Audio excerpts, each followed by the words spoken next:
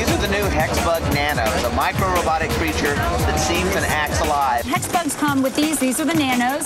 These the ants, but they have a whole collection of really fun creatures. The kids love these. They they buzz it. Now you see one of them won the battle, the other one flipped off.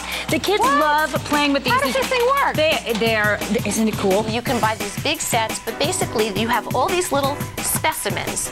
They come in test tubes if you buy them individually. And if you turn them on, a little science in here, I don't know if you can see this run, they're very bug-like.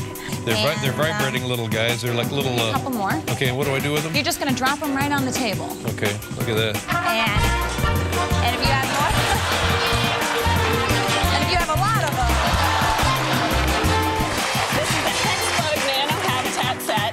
It is $30 from Innovation Oh, First. wow. Kids love these little micro robots. Oh, we wow. This comes with 10 pieces of track. We just have a few out. You can build all sorts of different racetracks for your That's bugs. That's incredible. great. Now this thing has been creeping me out. These are Hexbug Nanos, and you know, they're kind of like between toy mm. answer. They're $9.99. They come in these really cool test tubes. And on their website, they have a science component They to do. it, right? So if you go to hexbug.com, you can actually register your nano, and when you're there, you're going to learn all about great science. So as a mom,